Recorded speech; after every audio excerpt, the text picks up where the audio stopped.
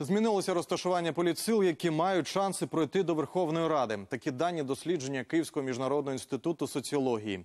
Відповіді розподілилися таким чином: 48,5% готові підтримати партію Слуга народу. Трохи більше 14% опозиційну платформу за життя.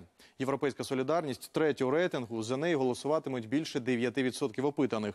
За батьківщину Юлії Тимошенко 6,2%. За голос майже 4,5%.